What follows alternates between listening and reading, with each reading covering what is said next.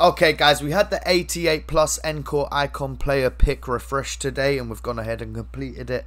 Let's go and see what we get out of it. One of three 88 plus. Is it Thunderstruck, Winter Wildcard, Team of the Year, and I think Future Stars icons?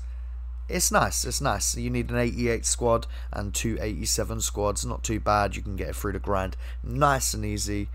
Let's see what we get, guys. Common EA, bless me. Let me know what you guys get in your icon player picks. It's always this way, isn't it? it's always this way.